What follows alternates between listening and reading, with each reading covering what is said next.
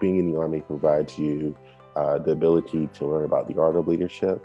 Um, you are in charge of you know different size teams, be it big or small, um, but you really don't learn about the science behind leadership.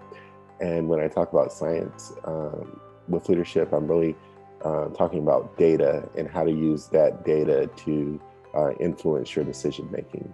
And so I felt like the MBA would um, best help me learn how to use data um, to make uh, good and informed decisions, uh, as well as how to uh, provide that data to my organization, peers, or leaders, uh, and show them the uh, data in a, in a palatable form that they can understand.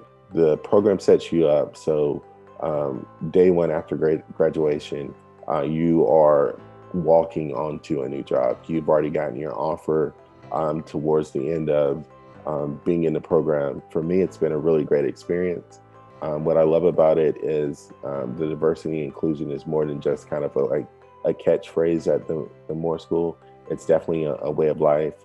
Um, the Moore School has done a great job of providing us opportunities um, to to work and interact um, with our our fellow um, members of our cohort, uh, even though it was you know a virtual space. Um, I've enjoyed my experience at Adidas, and I think that a lot of the skills that I've learned um, and it's kind of helping me in my interactions um, at Adidas. It's helping me understand within my within my current role. There's a, a lot of data, and it's helping me understand how to in, interpret that data and how to um, clearly paint the uh, uh, a cohesive picture